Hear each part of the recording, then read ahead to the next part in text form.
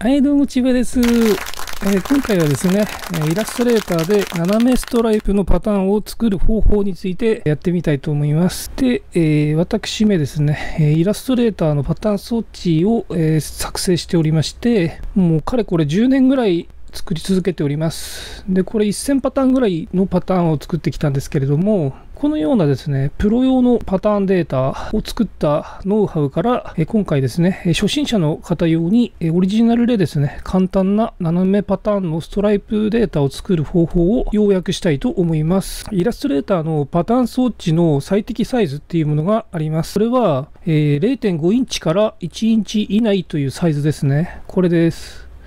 えーミリメートルでいうところの12.7ミリから25.4ミリの正方形ですね、えーパターンを作成して、それを装置に登録すると、処理の軽いですね、えーパターンデータが作成できます。パターンっていうのは繰り返しなんで、それがこうタイル上にこう自動で並ぶのがパターン装置なんですけれども、まあ、できるだけ無駄な繰り返しを含まない、かつこのサイズの中に収めるっていうのがポイントになります。えで、まあ、これですね、スウォッチっていうウィンドウ、ウィンドウをスウォッチ、ここですね、をクリックすると、このスウォッチっていうウィンドウが出てきますので、で、ここで、ここをクリックすると、えー未使用の項目を選択とありまして、でここでゴミ箱をクリックすると、不必要な装置データを削除することができます。で、ここをすると、ここに登録してあるデフォルトである邪魔な装置データを削除するってことができます。で、今回は分かりやすく、紅白のストライプを作ってみます。長方形ツールを使って、このようなだいたい長方形を作って、ここをクリックして、シフトオプション。Windows ならシフトオールトキーを押したまんまこう横移動で重なったところで手をパッと離す。で、こちら側に色をつけます。金赤ですね。マゼンタとイエロー。CMYK のマゼンタとイエロー100%は金赤って言いますね。で、ここの線はなしと。で、こちらは色をつけて、で、ここは、こっちも線の塗りはなしと。線はなし。塗りは白。で、えーこれで大体、まあこれで紅白の、えー四角形ですね。で、これができれば、えー正方形であるとベストです。ですので、この、えー変形ツールをクリックして、で、ここをリンクさせるかリンクさせないかってなって、リンクさせないと片方を変えても片方は変わらないってなります。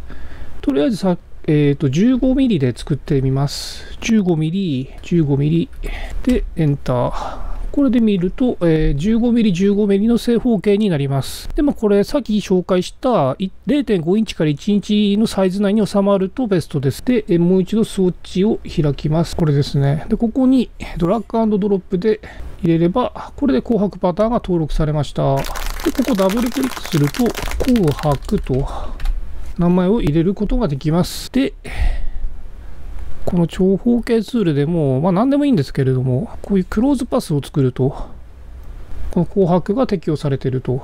適用なしにするとこう。適用ありでこう。で、これをストライプ、斜めにしたいということですから、変形、回転。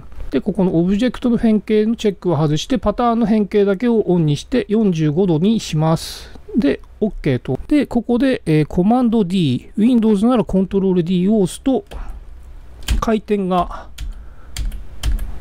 入れられます。これで右斜め45度。これ左斜め45度ですか。っていう状態ですね。こんな感じでストライプパターを作ることができます。もうすごく簡単ですよね。で、この応用で、まあいろんなものが作れるんですね。えーと、どんな、どんなのかな。